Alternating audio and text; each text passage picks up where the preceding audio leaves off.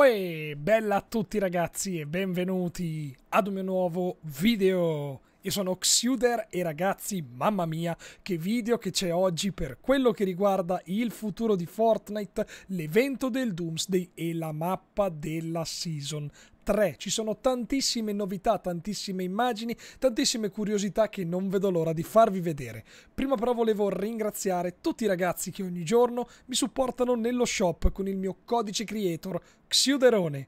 Grazie mille ragazzi per il vostro sostegno, mi raccomando non dimenticatevi di iscrivervi ai miei canali e soprattutto di attivare la campanella per non perdere nessuna notifica del mio video news. E ora andiamo direttamente al primo argomento di oggi ed è una notizia davvero molto interessante.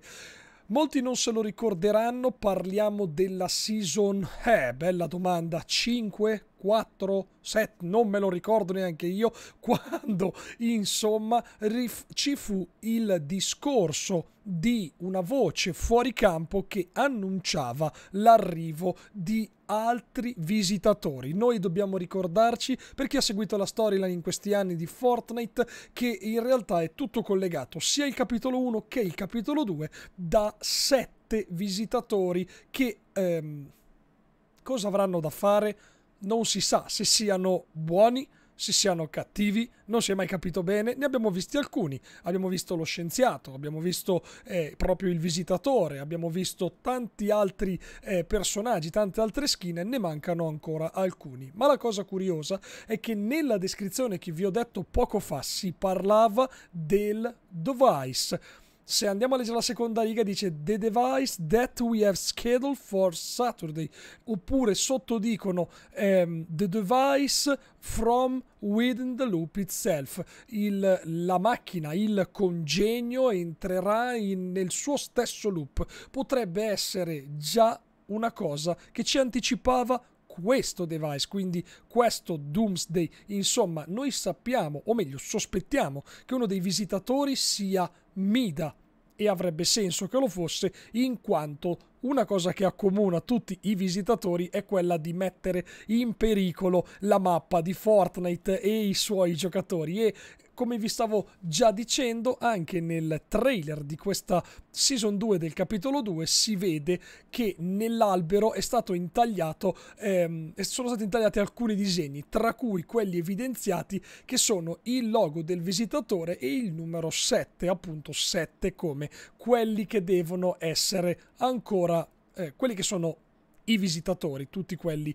insomma di cui abbiamo appena parlato. Quindi già loro sapevano della storyline, un fatto veramente interessante curioso e tanta tanta roba per chi si è ricordato di questo dettaglio che non va assolutamente tralasciato. E andiamo avanti perché c'è una eh, notizia direttamente ufficiale sulla pagina Reddit eh, alla quale risponde proprio un membro dello staff di Epic Games che in, in due parole dice, eh, siccome sono stati bombardati di gente contraria ovviamente al posticipo di questa season, dice ehm, ci dispiace aver eh, detto con così tanto ritardo che la stagione eh, sarebbe stata posticipata, ma noi preferiamo che sia tutto perfetto nei minimi dettagli prima di rilasciare. Ora mi fai un pochettino ridere perché sono anni che noi chiamiamo Fortnite Bug Night, visto che ci sono miliardi di bug e alcuni nuovi che vengono scoperti proprio giorno per giorno. È anche vero che un gioco come Fortnite è quasi impossibile farlo senza bug se non proprio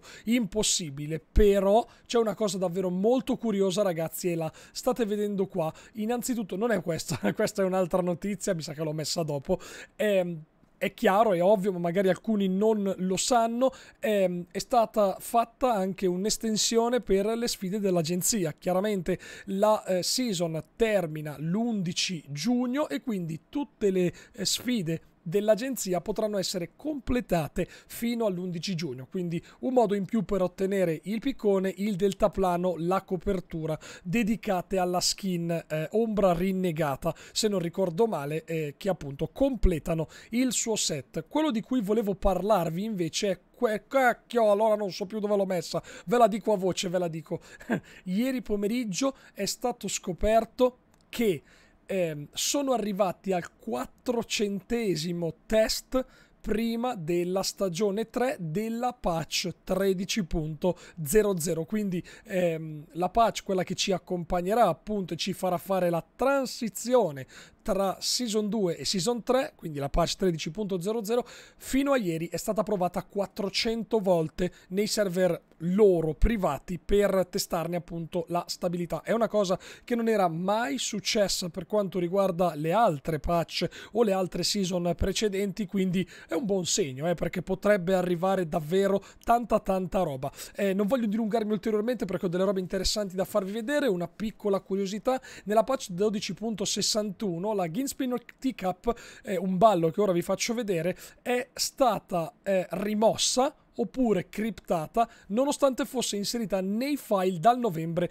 2019. Chi non se la ricorda, la Spinner Teacup era questa, l'avevamo già vista un po' di tempo fa, eh, niente di esagerato se devo essere sincero, un balletto molto, molto strano, particolare appunto con la skin che muove la, eh, la tazza. E invece un'altra notizia importante è proprio questa ragazzi perché tutti i giocatori da PC hanno ricevuto un nerf sull'aim assist.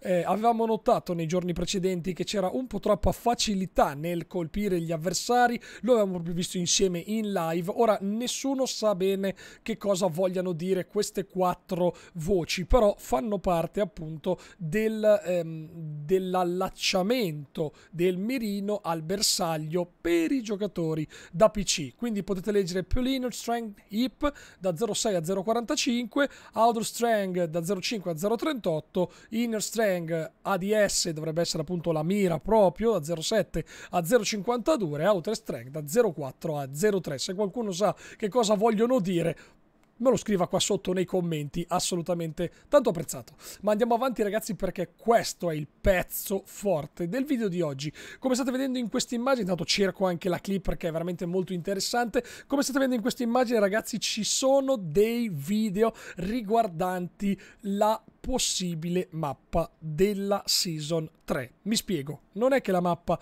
verrà cambiata e intanto vi faccio vedere lo spezzone così non vi faccio perdere tempo. Non è che la mappa verrà cambiata ragazzi, ma verrà modificata in maniera notevole. Qua stiamo vedendo un filmato che viene preso appunto... Ehm, dal web dove si vede chiaramente il nostro personaggio di default con un livello dell'acqua notevolmente più alto rispetto a quanto siamo abituati a vedere. In questo caso siamo nella parte di foschi ehm, e come vedete appunto escono solamente le due ciminiere e alcuni alberi. Ora, credo che vista così non sia proprio al 100% la dimensione corretta di Foschi, quindi vi dico prendete questo filmato con le pinze. È davvero molto divertente. Eh, supporta creator Xuderone intanto, vedo di fare il bravo. Allora, come si dice? Prendetelo ovviamente con le pinze questo video perché eh, potrebbe tranquillamente essere un concept fatto e quindi non un video veritiero, mentre invece quello che voglio farvi vedere adesso, che è molto più interessante, arriva eh, direttamente da un altro leakers e potrebbe essere ciò che accadrà alla mappa con l'innalzamento dell'acqua. Quindi come vedete ragazzi, sommerse gran parti delle città. Ora io mi chiedo, siamo sicuri che sia davvero così? Nel senso, siamo pronti a giocare una mappa che abbia più di metà della superficie coperta d'acqua?